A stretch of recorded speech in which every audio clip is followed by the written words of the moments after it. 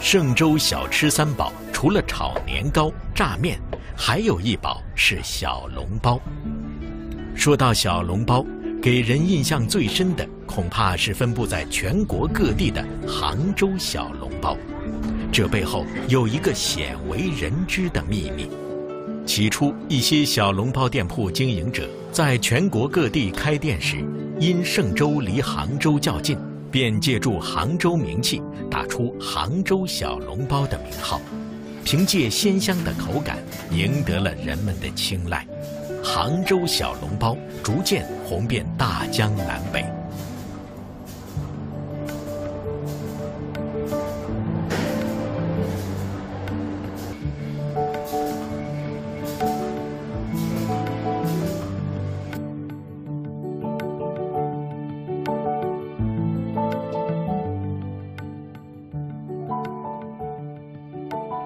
于心寒的爷爷在黄泽镇卖小笼包，养活了整个家庭。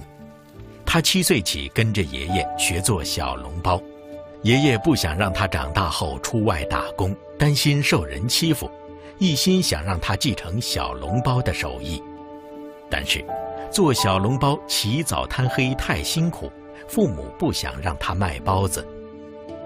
爷爷去世后，于心寒的父亲和叔叔。都继承了爷爷的手艺，分别开了自家的小店儿。父亲因为劳累，腰椎、颈椎病变，二十三岁的于心寒就承担起了整个小店的生意。这对于一个女孩来说，需要很大的决心和毅力。她坚持了下来，直到后来谈朋友、结婚，爱人也和她一起打理小店儿。店虽小，却在整个小镇。颇有名气。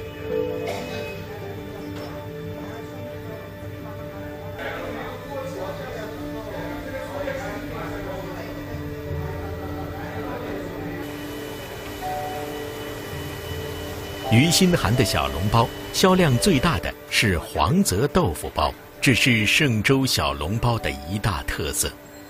爷爷做豆腐包时用的是粗豆腐，于心寒进行了改良。选用当地的内酯豆腐，把猪后腿肉剁碎和豆腐搅拌一起。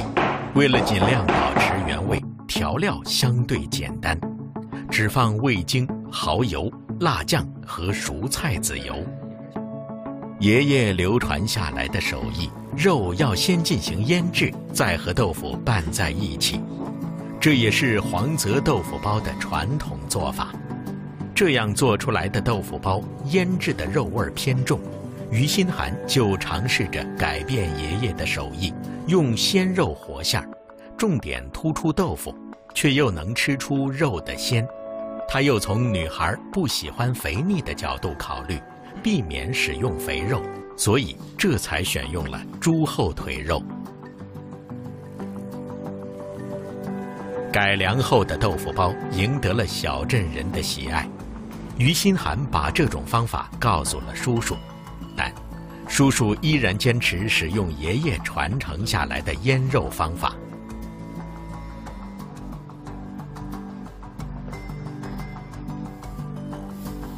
包子皮软硬得当，全靠多年手感经验。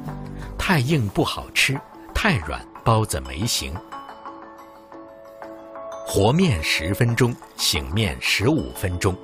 每次和面不能多，以防没来得及用完，导致面发酵影响口感。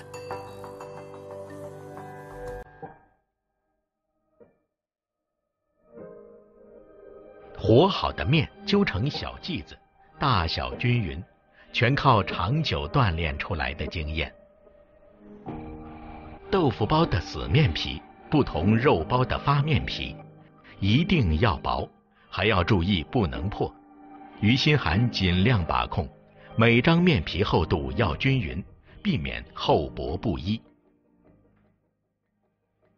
每天擀七八百张，于心寒的手指螺纹磨的早已看不清楚。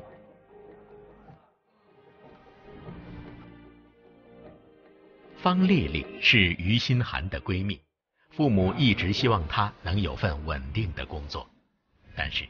他却辞掉工作，学起了做小笼包。开明的父母没有阻拦，而是把家里的积蓄拿出来，支持了女儿的选择。于心寒继承爷爷的事业，开的是门店。方丽丽没有开门店，而是开启了一个小笼包公司，主要通过网络冷冻销售。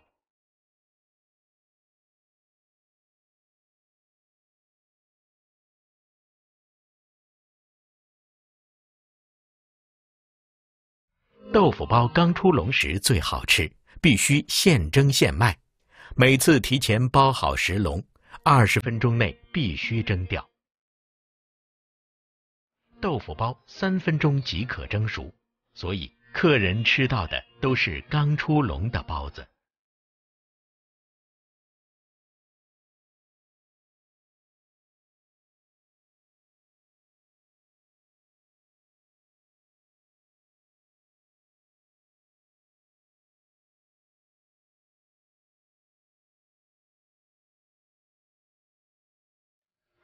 刚出笼的豆腐包像吹足的气球，饱满充盈，但很快就会塌陷下去，所以必须赶快吃，口味最好。一口下去，皮薄但却筋道，豆腐馅儿溢满全口，汤汁顺喉而下。嵊州人喜欢把包子称作馒头。豆腐包也就称作豆腐馒头，这同样是嵊州人永远的最爱。